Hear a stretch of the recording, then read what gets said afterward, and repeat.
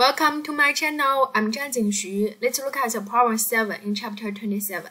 Chapter 27 is about magnetism. So there we need to calculate the electric force on a current by magnetic fields. But things a little bit complicated there. The current flows in two directions. First one pointing to negative z, then pointing to the y equal to 2x and the magnetic field is in x direction. So how can we do that? As we know, magnetic force is a vector, right? And if we want to calculate it in this function, it is current is L cross B. Agree? Yes.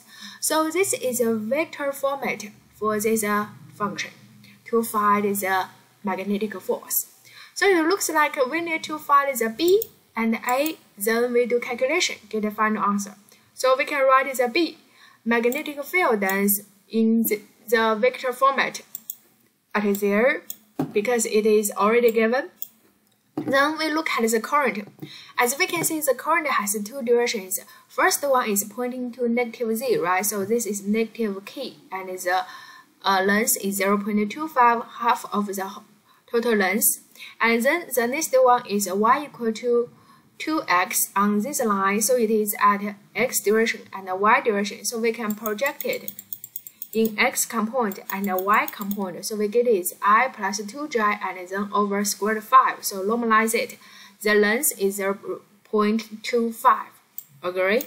Now you can see we can input the L and B in this function. It looks like this one, right?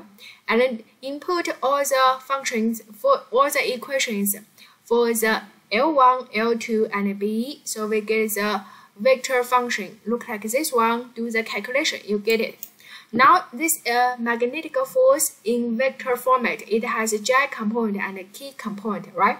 So we need to determine the magnitude and the direction. So magnitude is easy. So squared the uh, this uh, 1.59 squared plus 1.42 squared. You get it there, and the theta is also easy, just arctangent the uh, 1.42 over 1.59, so there.